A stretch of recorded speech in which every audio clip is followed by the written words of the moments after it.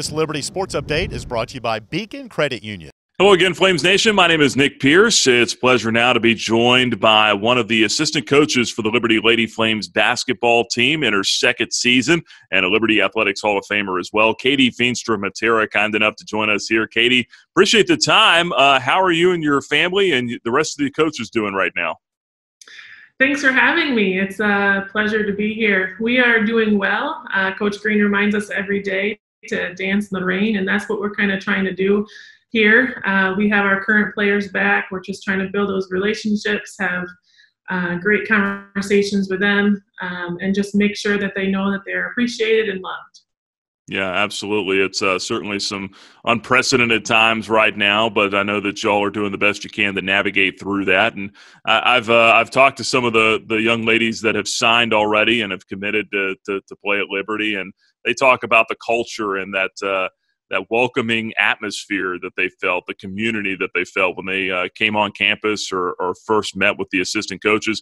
Tell us a little bit about that and what what goes into that, and and how do you, as coaches, kind of create that atmosphere.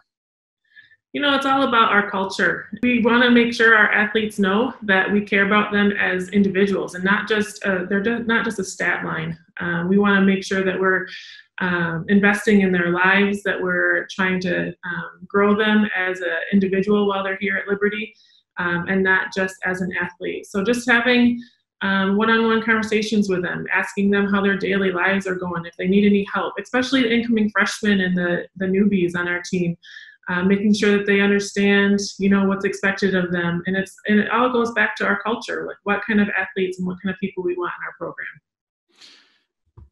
Yeah, and who better to talk about that than someone who played here and excelled here, certainly. Yourself an All American and going to the NCAA tournament and going to the Sweet 16, playing there on a national stage. Uh, how do your past playing experiences and certainly playing in the WNBA, playing professionally, how do all those experiences help you now uh, to be able to relate to some of the, the student athletes that are that are starting their careers or in the middle of them? You know, it seems like forever ago that I played here at Liberty for for Coach Green.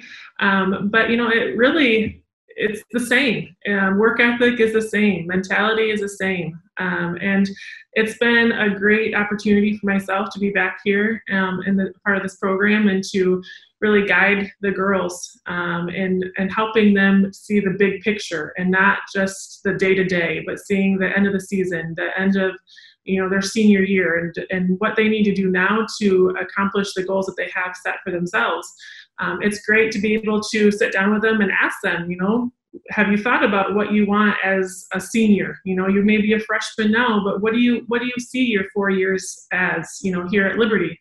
Um, and being able to help them and guide them through all those stages um, and have them see the, the the process of things and not just the end product want to ask you about a couple of specific players now, and uh, one of them being Keyen Green, who was just recently named to the Big South All Decade team. Certainly, she had a big impact on Liberty while she was here. She's graduated, moved on now, but you had a chance to coach her for a season. When you come in and when you see a player like that that's already uh, somewhat established, but is had dealt with some adversity and injuries like she had. Uh, what are you trying to do? What, what were you trying to do with her to kind of help her take another step, and and also just give us your thoughts on overall her as a player? I've had the opportunity um, before I was even on staff. I was a part of the alumni mentoring program. Um, so I was paired up with Keyen um, a year before I even was on staff, which um, I think it, it just paved the way I guess, for me being a part of the staff. Just building that relationship for that first year, um, listening to her, um, just helping her, and just being that mentor, hopefully, um, in her life. Uh, so when I came on staff, we kind of already had a, a relationship because of that previous year. Um, and that really just helped us. I think um, I knew what she, what her goals were already coming in, and I knew um, what her struggles were and what she needed to get what she what kind of coach she needed out of me um, because of that year. So we just kind of jumped right in and ran with it. Um, she is an amazing athlete. Uh, she is the just the the embodiment of what um, Liberty Athletics is, and um, she I'm just I'm thankful that I've had the year with her. I think she'll be successful wherever she is, um, and it was a it was a true honor to be able to coach her for that first year. I want to talk about some of the incoming uh, players now. Uh, Bella Smuda specifically. Uh, I know uh, some really good guards coming in, but talking about post players, you've got Bella coming in from uh, Pennsylvania, I believe it is, and then uh, a couple of others as well. Tell me about some of these incoming post players that you're going to be able to work with here. I'm super excited about Bella. Um, you know, I watched her a ton last summer in AAU. she is just a work a I guess you could say, on the basketball floor. She wants to um, improve her game, and she um, is not shy about it. You know, she she's got great post moves, and then towards the end of the summer last year, she was trying, starting to shoot threes and making them. Um, and you know, having that big frame um, out there on the three point line and having confidence to do that is is something special that you don't really see a whole lot um, in post play. So her just enthusiasm to work hard and to improve and to expand her game is just going to be unbelievable to watch and to work with. Um, I'm super excited to work with Maya McMillan once again this year. Um, Maya had a, great year last year, and um, she deserves a lot of that credit. She she put the time in um, before every practice, playing one on one with um, our managers, just really bought in to what we were asking of her.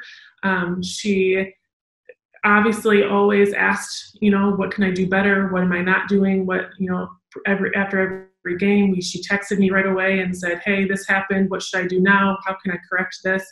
Um, she wanted to be coached. She wanted to um, be corrected. And um, because of that, I think Maya had a, had a great year. Um, and I'm thankful that she felt comfortable enough to have that conversation with me.